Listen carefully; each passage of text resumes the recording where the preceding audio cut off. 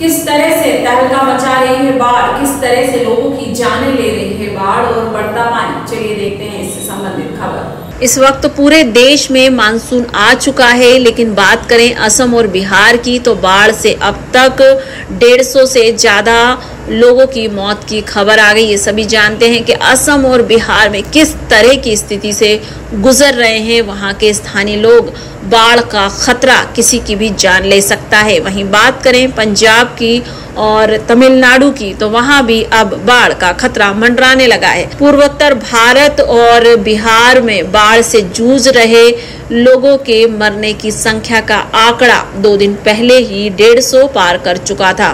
पंजाब में भी स्थिति ऐसी ही बनी हुई है। लगातार बढ़ती हुई बारिश बारिश जो कि लोगों पर कहर ढा रही है। बारिश जो कि लोगों का जीवन छीन रही है। बारिश से अछूते नहीं रहे हैं। जंगली जानवर बाढ़ का प्रकोप झेल रहे हैं। कई बाढ़ प्रभावित राज्यों में वित्त मंत्री ने हालाँकि राहत केंद्र बनाए हैं, जो कि पर्याप्त नहीं है और ना ही सुविधाएँ पर्याप्त मिल पा रही हैं। वहीं बिहार में भी स्थिति खतरनाक है।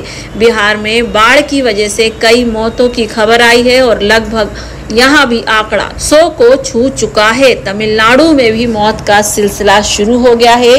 बारिश अब जानलेवा साबित हो रही है।